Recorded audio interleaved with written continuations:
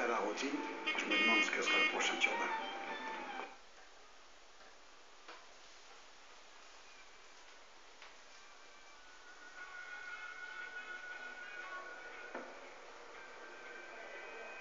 Ça a commencé comme ça. Un jour, t'es qu'un honnête taxi, et le lendemain, t'es devenu mafioso.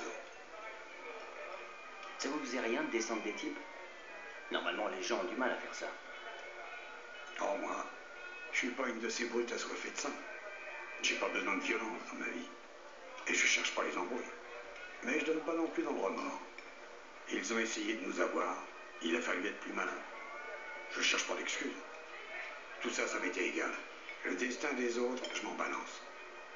Tout le monde disait que c'était les affaires et que la famille se serrait les coudes.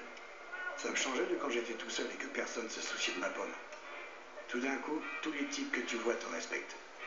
Ils savent tous qu'on peut les aider, mais qu'on peut aussi ruiner leur vie. Alors tout le monde essaie de se faire bien voir. Mais, et la police? Vous faites un carton et vous vous tirez comme ça. Et ça vous pose jamais de problème. Tu bosses pour les flics? Tu devrais le savoir. Tu sais que la mafia règne sur toute la ville. La famille Salieri se fait plus de 25 millions de dollars par an. Les journaux ne parlaient que de ça. Mais il n'y avait jamais de témoins. Parce qu'ils voulaient rester en vie.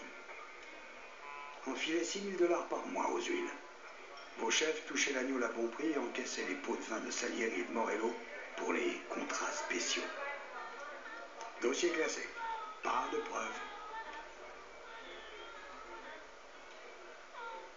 Les poulets transportaient même de l'agneau pour nous. J'imagine que vous en avez entendu parler. Et les deux autres alors? Oh, ils avaient assuré leurs arrières?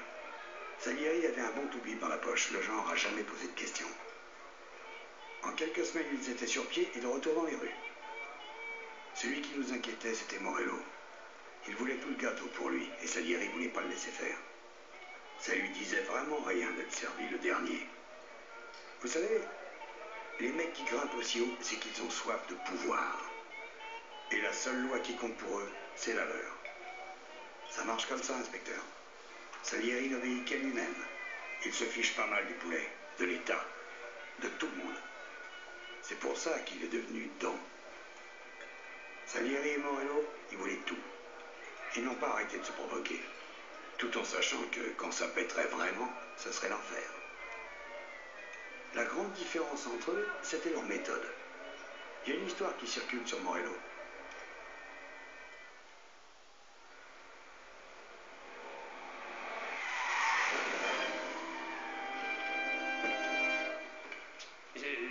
Suis, je suis désolé, monsieur.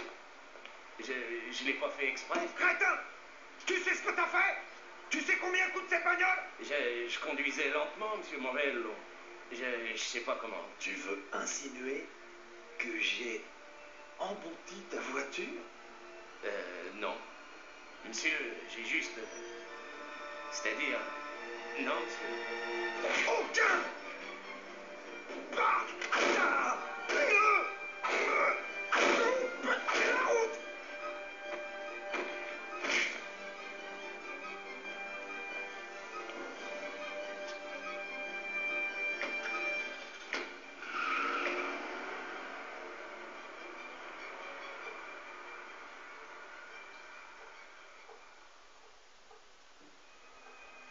Salieri s'était bâti une réputation d'homme d'affaires. Personne n'avait rien à craindre de lui tant qu'on ne le contrariait pas. Et ils savaient tous qu'en cas de besoin, ils pouvaient venir voir Salieri. Alors il s'est fait des amis. Il a souvent aidé des gens à résoudre leurs problèmes, en attendant la même chose en retour. Quand quelqu'un le contrariait, alors la règle était violée. Et tout le monde savait ce qui allait arriver. Morello n'était qu'une petite crapule. Il voulait régner par la violence. Même ses amis le craignaient. Tout le monde s'efforçait de l'éviter.